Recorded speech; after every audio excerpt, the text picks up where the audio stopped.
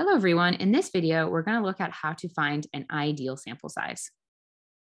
So in these situations, you might be given a certain margin of error that you're allowed or that you are accepting in your computations. And then from there, you want to determine, well, what should the sample size be of the sample that you collect data on in order to give you that margin of error. So what you see at the top of the page here is a formula that tells us what n should be given a certain margin of error, a certain confidence level, and certain P and Q hat values.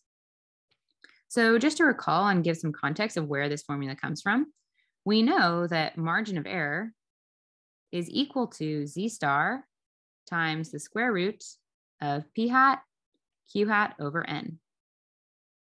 So if we solve for N in this formula, we would get out this formula here. And if you have the time and if you're curious about it, I encourage you to go through that algebra on your own. And if you have any questions, feel free to reach out to your instructor. One small point here is that if we want to know our sample size n in order to give us a certain margin of error that we want, then you see that we have p hat and q hat involved in this formula as well, which implies that we already took a sample. And m- most of the cases in these situations, we have an idea of what we'd expect for our sample proportion. So that are those are the values that we use for p hat and q hat. So one other note here is that the n value that we get, we always want to round up to the nearest whole number. So if the n that we compute is 111.1, then we're going to still round this number up to 112. And that's to guarantee that we have indeed sampled enough people to guarantee the margin of error that we want.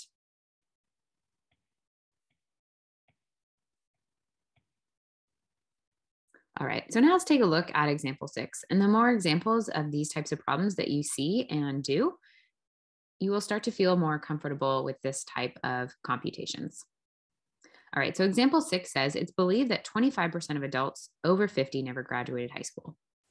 We wish to see if the same is true among 25 to 30 year olds. So, what we're given here is this 25%. That's going to be the assumed population proportion that we're going to want to test. So, that means for us, P is going to be 0.25. We're going to see how likely it is that the proportion is 0.25. So we're going to start with P equals 0.25 in our calculations. So this would mean that Q is 0.75. So now part A says, how many of this younger age group must we survey in order to estimate the proportion of non-grads to within 6% with 90% confidence? So let's, before we dive in, unpack all the information we're given. So we see here that we're already told what P and Q are assumed to be. So we're going to use these P and Q values in our formula.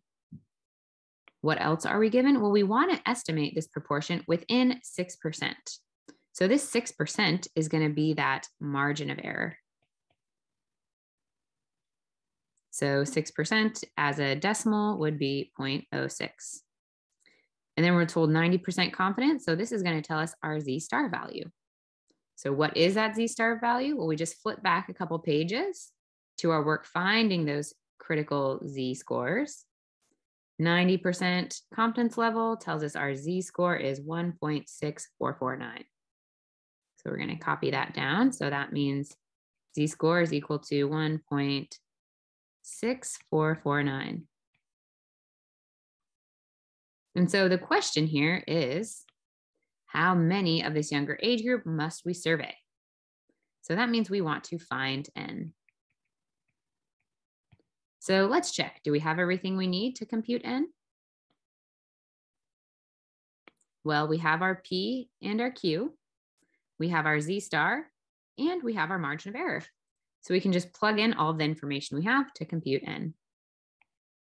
So this means n is equal to p 0.25 times q 0.75 times z star 1.6449 over the margin of error 0.06 all squared. So at this point, please pause the video and work out this number in your calculator. This will help you to develop some practice using your calculator and making these kind of computations.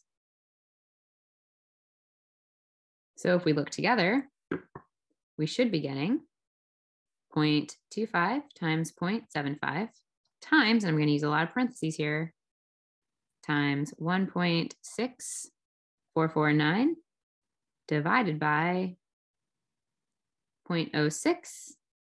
And I'm going to end my parenthesis, and then I'm going to square that entire term. So we should be getting 140.92. So this means n is equal to 140.9217 if we want to copy four total decimal places. But what will the actual n need to be in our sample? We need to round up because we always round up for these calculations. That would mean n is equal to 141. So to summarize, we should survey 141 people in this younger age group.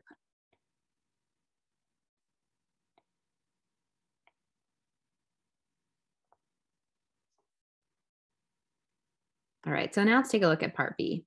So part B says, suppose we want to cut the margin of error to 4%, but again, using 90% confidence. What is the necessary sample size? So how is this problem different than the one we just looked at? Well, it's very similar. Everything's the same, but now our margin of error that we're going to use in our calculation is 0.04. So take a moment to pause the video and set up that calculation on your own. And after you've given yourself some time to look at that problem, then you can check your work. So our formula that we need to calculate is going to be n is equal to 0.25 times 0.75 times 1.6449. We still have that same confidence level, so we still have the same z star, but now we just divide by 0.04 and we square. So go ahead and pause the video to make that calculation. And when you're ready, we can compare answers. You should be getting 317, 317.0738. So here, do we round down to 317? Nope, we always round up. So for us, that's going to be n is equal to 318. So now we should sample or survey 318 people in the younger group. So if we have a smaller margin of error, 4%, then we need a larger sample. But if we have a larger margin of error, so that's okay to have a more error in our interval, then we don't need to survey as many people. So we go from 141 to 318.